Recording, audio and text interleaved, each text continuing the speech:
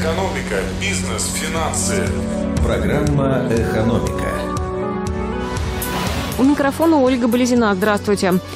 Государство оплатит кировчанам общественные работы. Правительство России выделило 280 миллионов рублей Кировской области на поддержку рынка труда. Деньги можно будет израсходовать на организацию общественных работ и временного трудоустройства. Сюда направят большую часть транша, почти 220 миллионов, а также на обучение кировчан новым навыкам. Расходы 60 миллионов рублей. Пока что чиновники, добавлю, не отмечают ухудшения ситуации с занятостью.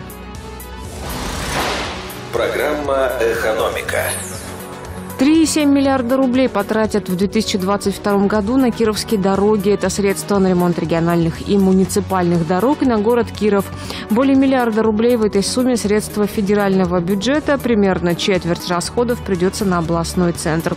До зимы хотят отремонтировать 180 километров дорог. Из них в Кирове 30, это 50 участков, и 260 погонных метров мостов, 36 из них в Кирове. Экономика. На 101 FM.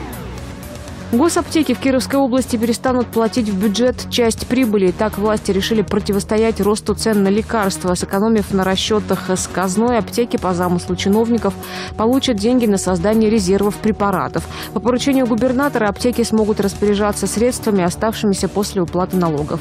Соответствующие изменения в законодательство, по словам Игоря Васильева, будут приняты в ближайшее время. Экономика. Далее информация от наших партнеров. Сотрудничество с самозанятыми удобно, но рискованно. Попасть под подозрение в том, что на самом деле работодатель пытается снизить налоговую нагрузку, довольно просто. Когда есть риски переквалификации договора ГПХ в трудовой, рассказывает руководитель компании «Бухгалтер» я Татьяна Максимчук. Разница между трудовым договором и договором ГПХ заключается в том, что вы не можете диктовать условия того, как выполняется работа. Вы контролируете только конечный результат. Указание в договоре, что исполнитель обязан выполнять работу лично, подчиняясь распоряжениям заказчика. А если еще и должен соблюдать правила внутреннего трудового распорядка и беречь имущество заказчика, ну это вообще просто сразу трудовой договор. Дальше указание, если вы в договоре, что работа должна выполняться в конкретном месте. Прописывая это в договоре ГПХ, вы несете риск того, что вам переквалифицируют это в трудовой.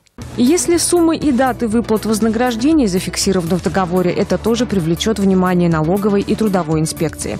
Сейчас не время рисковать и тратить ресурсы на объяснения с контролирующими органами. Если оптимизироваться, то под наблюдением специалистов. Бухгалтеры я 213 112. Грамотно ответить на запрос и ФНС там тоже, кстати, помогут. Программа «Экономика». В завершении о валютах доллар на сегодня 82 рубля 60 копеек, евро стоит 90 рублей 60 копеек. Ольга Болезина, новости экономики в Кирове. Программа «Экономика». На 101 FM.